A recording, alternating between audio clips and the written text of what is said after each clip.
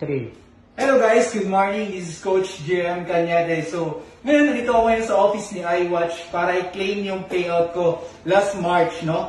So, mapapansin niyo, sobrang tagal ko bago nakuha yung payout kasi um, dahil din sa panahon natin na mahirap pumunta or bumiyahe, no? Kaya ngayon talaga excited akong ano, kunin yung payout ko, no? No, pinagtrabahoan ko nung March.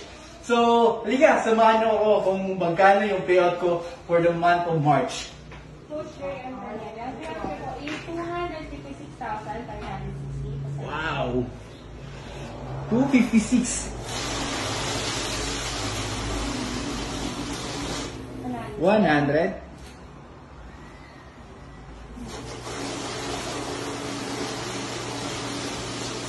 One hundred. Another 100. 200 na po.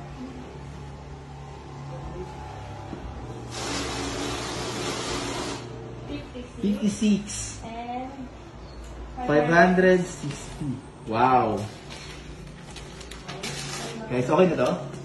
Guys, ang payout ko nung March is 256,560.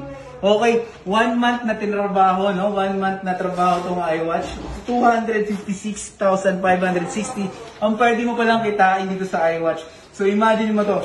Um, kayang-kaya mo rin kumita ng ganito, no? Ka ganito. Basta willing ka lang talaga seryosohin o gawin tong business na to. Okay, kung ikaw interesado and hindi ka pa member ng iWatch, welcome na welcome ka na po na sumali or mag-inquire about iWatch at kami mismo ang mag-guide sa'yo, tutulungan ka kung paano namin nakuha to at kung paano mo din makukuha to. So, abangan yung mga susunod na mga vlog or video na katulad nito and asahan yung mas malaki pa yon. Okay?